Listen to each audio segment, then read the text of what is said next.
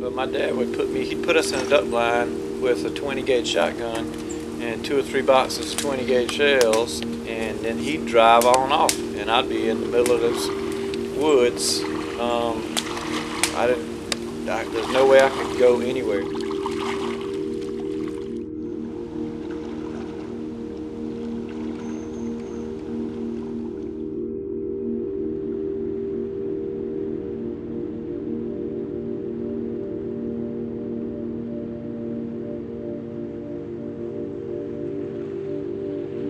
Most boys have some type of a, an adventurous spirit, and to go out and do the things that men do to take care of their family, I think that excites boys and men alike.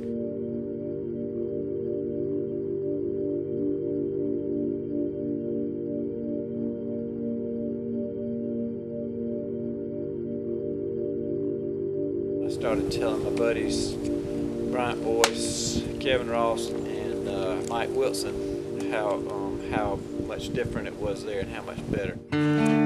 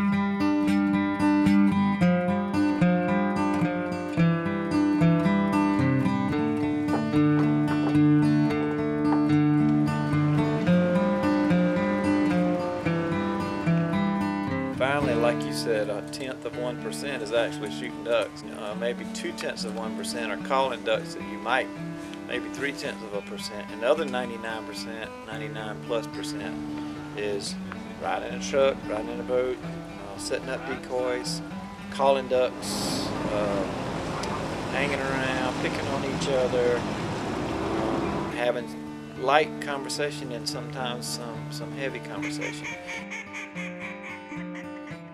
Mike Wilson was the professing Christian. He'd have been the one who said, I've given my life to Christ, I'll, I'll go into heaven when I die. And then I was the next one to surrender. That was 99. And then we had left were Kevin and Bryant, Kevin surrendered.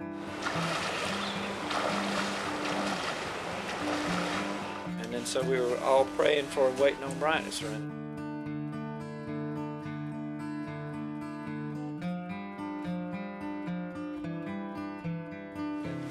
Just a few months before his death, um, the year before last, would have been 2013, I think. And uh, that was when that was when he told Kevin that he had he had uh, made a profession of Christ.